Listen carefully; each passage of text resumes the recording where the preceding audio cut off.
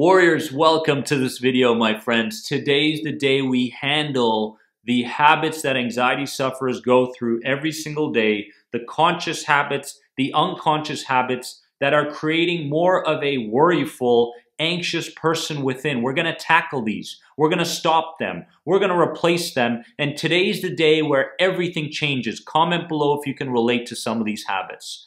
Habit number one that anxiety sufferers go through that they must stop and replace starting today is stop living your life in reaction. Start living your life with a time structure. What do I mean?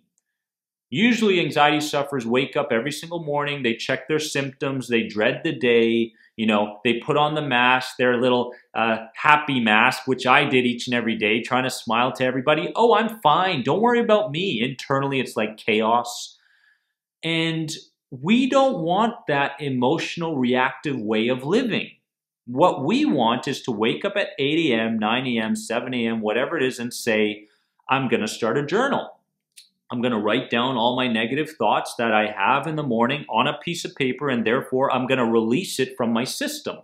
Release. Or I'm going to go in the shower and I'm going to make sure that I exude this kind of physiology, this posture, this breathing pattern that will create the momentum that will give me what I want, which is good feelings for the day and an identity that I am proud of.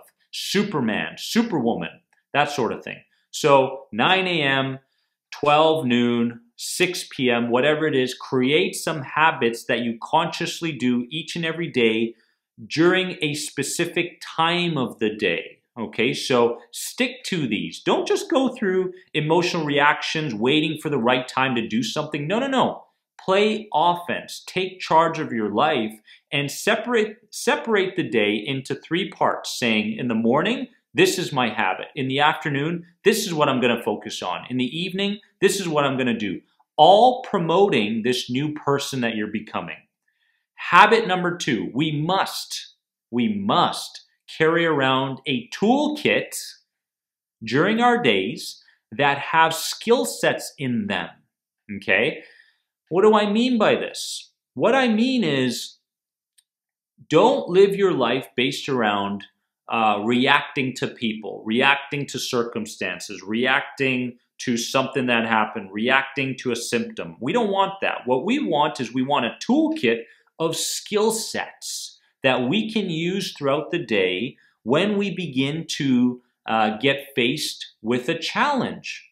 So this could be anything from a cognitive skill set, which says, I'm going to change the tone into a funny cartoon character, for instance, every single time a negative thought pops up. That's a skill set. I'm going to work on my continuous breathing, my 414s, four seconds in, one second pause, four seconds exhale. This is a skill set. These are the skill sets that you want to bring with you as you're going through your day whether you are neutral or whether you are faced with internal or external challenges because don't wing it. Don't wing it. Trust me. Okay. We don't want that. We want to have a, you know, things related to the cognitive processes, which means thought restructuring. How are you going to do it? Body. How are you going to exude confidence? How are you going to breathe? How are you going to, what sort of speed are you going to implement throughout the day? Uh, visualization processes, emotional processes. What sort of skill sets do you currently have that you can put in your toolkit for the day that you can bring with you as you're going about your day? This is really important. Number three is start adopting a lighter internal language. The way you speak to yourself and the way you use the words that you use are crushing your ability to overcome these challenges. A lot of people use words related to self doubt, self sabotage, things that happen in their lives that they're not grateful for. You know, they beat themselves up over things.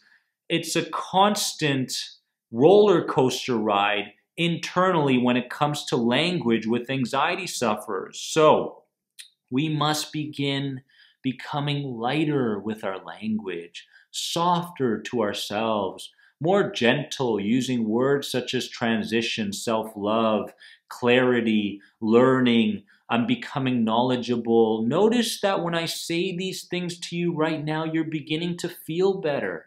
This is the sort of language you want to use. You want to give yourself some space, some flexibility to learn and implement things, my friends. So make sure that you begin today, begin speaking to yourself internally as far as more self love and more gentleness on this journey because you're going to get there. It's a matter of time, but don't rush it. Make sure that you give yourself that space and that self love to begin implementing this stuff. All right, so language. Number four is anticipate the challenges internally and externally that will arise on this journey. Now, how many times do anxiety sufferers do this? I know I did. I learned something new, or I'm implementing a new method. And I'm saying, you know what? I'm implementing this thing that should make me feel better, shouldn't it? And I start going, why am I feeling worse than I was before? And I start questioning the technique or the skill set or the method, and I say, it didn't work for me, on to the next thing. I want to explain something to you. When you begin to create change, even if that is positive change, and you know things such as meditation, exercising, new diets, uh, CBT, NLP, if you're going through the program, no matter what it is, when you begin to change these things, you must anticipate new feelings, new emotions, new thoughts, new challenges that arise during this phase of the journey. It's not a linear road. It's like this. That's the kind of road it is. It's not this, oh, skill set, CBT will work for that guy. Oh, perfect. I'm just going to go straight towards who I want to become. It doesn't work like that. You will be faced with new emotions, new feelings, new challenges internally. And when you change yourself internally, you're going to find that the energy that you exude, as far as that electromagnetic energy that you give off through your heart will begin to change your external reality as well. These sort of changes are normal and natural. Go with them. Know that you're on the right journey, know that you're on the right path, and accept them. Accept them and anticipate that they will arise even though you are implementing good things in your life. It's part of the journey. Number five is Stop playing the trying game. Start playing the long game. Important. Trying this, trying that, didn't work, didn't work, I'll try that, I'll read that. Oh, did that work? No more. The long game means that the system has an opportunity to um, take in this new information, this new knowledge, and begin to implement it. Like I mentioned in the last, uh, the last law or the last step that I mentioned, there will be challenges. Now, commit three months to something new, whether that's cognitive behavioral therapy or neurolinguistic programming or hypnosis or uh, energetic ways of healing, such as Reiki or Qigong or whatever it is Play the long game, my friends. Give yourself time to make these changes. I know it's not easy with anxiety because we don't want to feel what we're feeling. I get it. I totally get it. But at the same time, when we become jumpy from one thing to the other, to the other, to the other, not only does that cause more internal chaos and anxiety, we begin to doubt our abilities as to whether or not this change can actually happen. So play the long game. Don't play the trying game, which is a habit that a lot of anxiety sufferers go through all the time.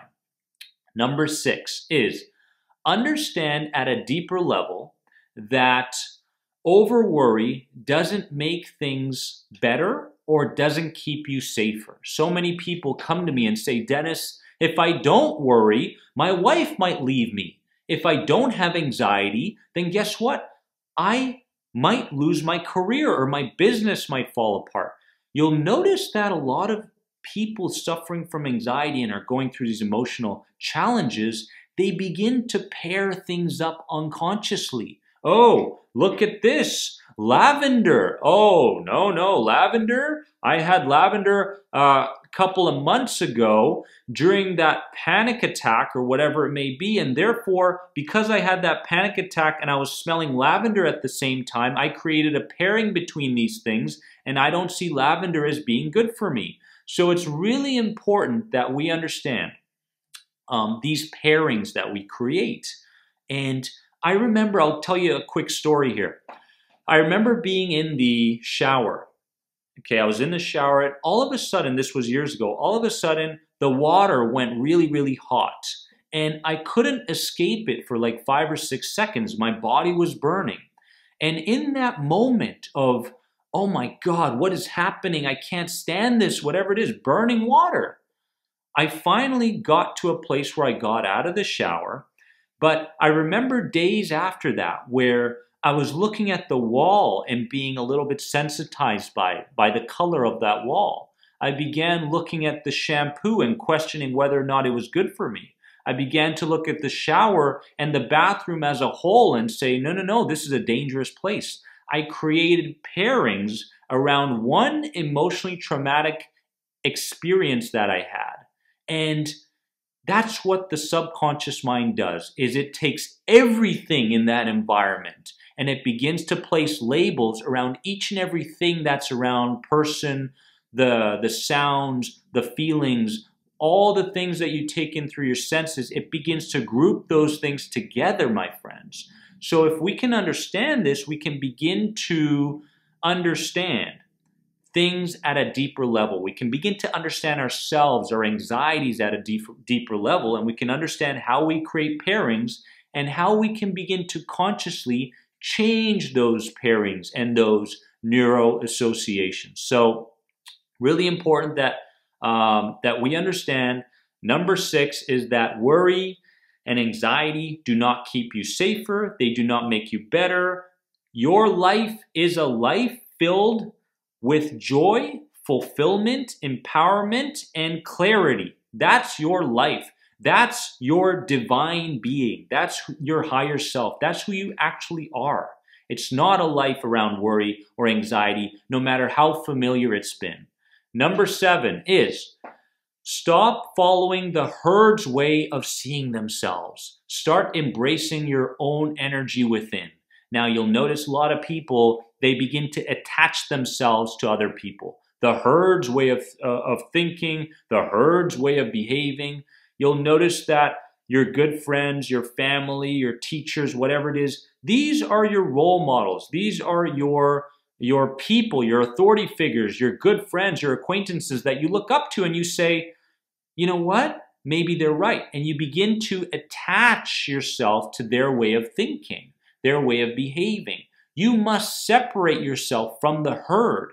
You came to this world as a unique being, as a blank slate. I urge you, starting today, to look deeper within and say, you know what? These thoughts, these anxious thoughts, these beliefs, this identity is not me. It's not who I am. I will no longer be programmed by social media, or the media itself or newspapers or the TV or other people. I will no longer do that.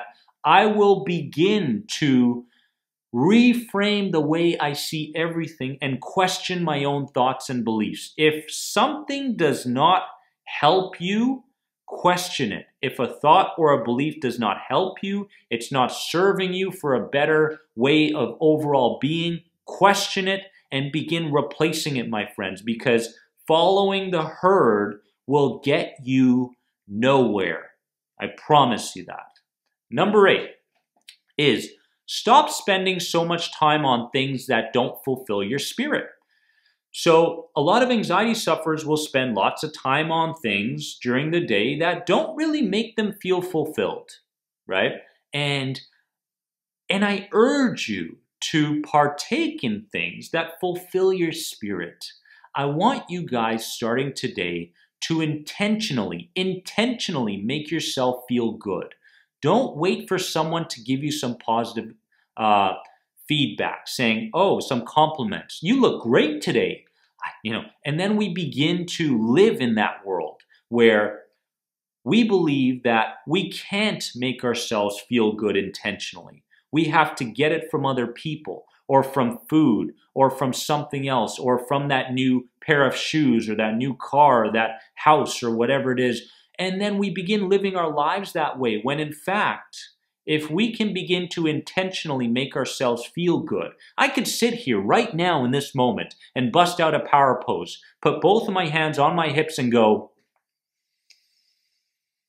ah, I automatically begin to feel within a two minute time frame, I begin to feel better about myself. I begin to feel that self doubt released from my system. And it's been proven through science that 20 to 40% more relaxation if I hold a power pose, a power pose, or whatever it may be, something along those lines. So we can intentionally make ourselves feel good give back to our spirit, fulfill our spirit, and then create that new energy from our heart that exudes throughout our entire body and goes from organ to organ, right? And and begins to travel and your heart's message is really, really important. When you begin to feel good, not only do your organs get happier and more healthy, but you also exude that energy towards the outside world.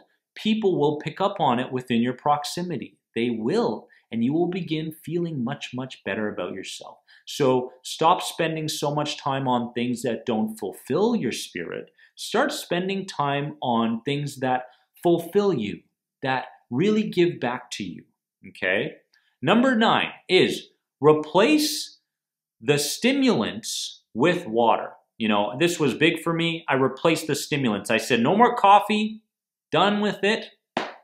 No more alcohol. I'm not gonna rub my face into feel good things as far as stimulants just to get away from my sensations or my thoughts or whatever it is. I'm not gonna do that anymore. What I am gonna do is I'm gonna partake in a lifestyle that serves me for the better, and I will, will replace stimulants with water, stimulants with fresh juice, that was huge on my recovery. Number 10 is, and this is huge, sleep more, meditate less. What do you mean meditate less, Dennis? Isn't meditation good for me? Yes, it is. But anxiety sufferers are very depleted, they're very tired, they're very exhausted. And I urge you to sleep first, meditate second. If you're feeling tired, if you're feeling drowsy, if you're feeling depleted, your body is saying, please, for God's sakes, stop being so conscious, stop meditating, stop putting your attention on other things, and just sleep. I can't tell you how much a 10 hour sleep helped me on my road to getting my adrenals to a place where they were neutralized, where they were, were replenished, rebooted, and Nothing beats a good night's sleep, my friend. So if you have to choose between meditating and sleeping and you scan your system and say, what does my system want? It wants sleep. So I will give it to my system because I love myself. I love you guys so very much. Remember, you are more than anxiety. Take these habits, stop these habits, replace these habits, my friends, starting today Comment and please like this video, share it with people that need it, and I'll see you really soon. Remember, you are more than anxiety. Love you.